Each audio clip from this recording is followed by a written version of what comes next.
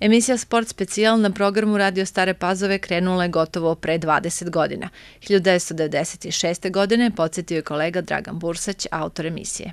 Cilj je bio da e, preduhitrimo neke druge radio stanice e, kad su u pitanju e, sakupljanje rezultata prvenstvenih futbolskih utakmica, jer to je bilo vreme kada još uvek nije bilo mobilnih telefona i kada je trebalo biti brži od drugih i Emisija je zvanično startovala 1. septembra u 13 časova, tada je trajala prvih nekih 20 ili 30 emisija do 20 e, časova, onda smo je negde od marta meseca produžili za još sat vremena da bi je prilagodili terminu završetka prvenstvenih futbolskih utakmica.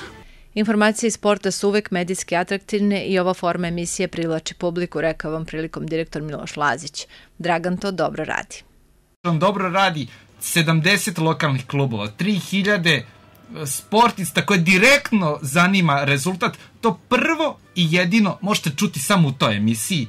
Tog dana ako ostanete u nedelju uz uz Radio Staru Pazovu, možete da slušate lepu muziku i s vremena na vreme e, rezultate lokalnih klubova plus rezultate i nacionalnih klubova i internacionalnih takmičenja puno sati uz muziku i sport i to je negde dobitna kombinacija za nedeljom, za radio inače ono što mene čini zadovoljnim i ponosnim da ja i danas mogu da sa svakim od tih ljudi koji su prošli kroz emisiju Sport specijal ili neke druge sportske informativne emisije ovde, a pričali su o sportu, mogu da stanem i da porazgovaram i ostali smo prijatelji, čak i oni koji su se povukli i nisu više aktivni kad su u pitanju sportski klubovi ili kao aktivni sportisti, a mnogo, mnogo ljudi prošlo kroz sport specijal i ja im svima zahvaljujem jer su oni oni dali isto kao i svojim saradnicima koji su učestvovali u kreiranju emisije Sport Specijal, jer su dali veliki nemerljiv doprinos